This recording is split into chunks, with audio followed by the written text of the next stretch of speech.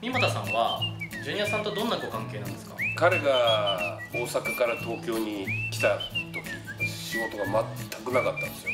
ダウンタウンデラックスだとかさんま御殿のアンケート来るんですけどそれを「お前ならどう答えるんだ」って全部喋らせて